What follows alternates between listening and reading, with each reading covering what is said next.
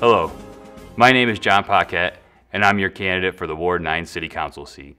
Election day is fast approaching, and I've listened to your concerns over the last few months and will continue to listen right up till November 7th, and with your support for the foreseeable future. As a business leader specializing in aerospace components, I have gained the experience of working with large companies and smaller family-run businesses, some being right here in our city. The experience of reading blueprints, ensuring requirements can be met, allows me to find the best terms for the overall success for both businesses. I will transfer this knowledge into the council seat by listening to residents' issues, evaluating public safety, all while finding a successful outcome. My plans as your counselor includes a commitment to sensible financial management, ensuring our city's monies are spent with the most positive return to the residents.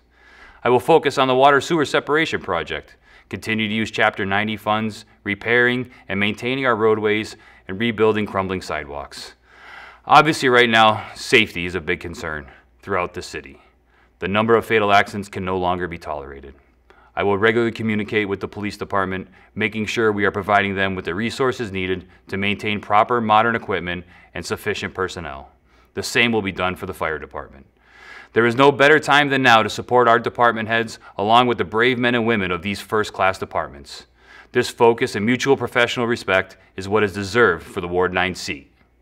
In closing, I have been a long-time resident of Chicopee, graduate of our fantastic public school system, homeowner, and taxpayer. With your support, we will be the voice for the future of our great city of Chicopee. I respectfully ask for your vote November 7th to become the next Ward 9 Chicopee City Councilor. Thank you.